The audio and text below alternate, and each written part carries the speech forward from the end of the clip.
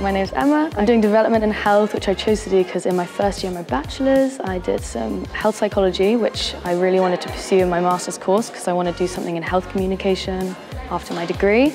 I really like the focus on addiction and stress and sexual health in this course, and I think it's actually really applicable to the real life world. Psychology at University of Amsterdam is really 17th in the world, so it's really well renowned and the teaching's really good, and I wanted to try something in a new country. I'm Reinoud Wiers. I'm a professor of developmental psychopathology here at the University of Amsterdam. Health psychology typically does not really take developmental aspects into account. We argue that it's really important because the same intervention may have completely different effects if you do it in children, adolescents, adults, elderly. So that's really an important angle in all of our study. We use problem-based learning here. So that means that you can have a broad topic, say addiction. Within that you have these specific cases where you first talk, what is this case about? What is the effect of, say, terrible pictures as warnings on cigarette packages. So you come up with questions yourself and then you go to the literature. And the nice thing is, research has shown that when the learning is curiosity driven rather than obliged literature, you actually memorize more, so you learn a lot.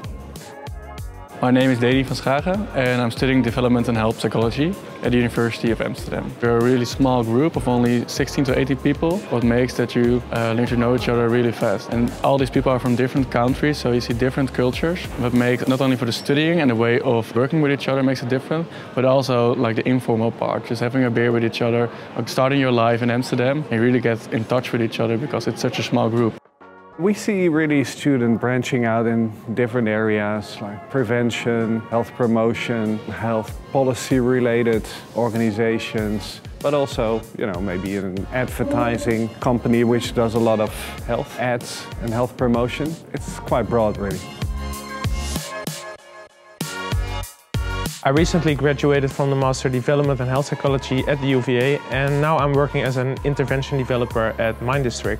In my current job I'm developing apps for improving sleep, increasing activity and improved coping with negative feelings. We are faced with problems. For example, insurance companies, they tell us to uh, develop an app for improving sleep. Then we are uh, brainstorming about what the app should look like, doing some literature research. The process of intervention developing in my current job is really similar to the problem-based learning process uh, during the tutorial groups in the master. That's why I'm now really able to use the skills I acquired during my study in my new job.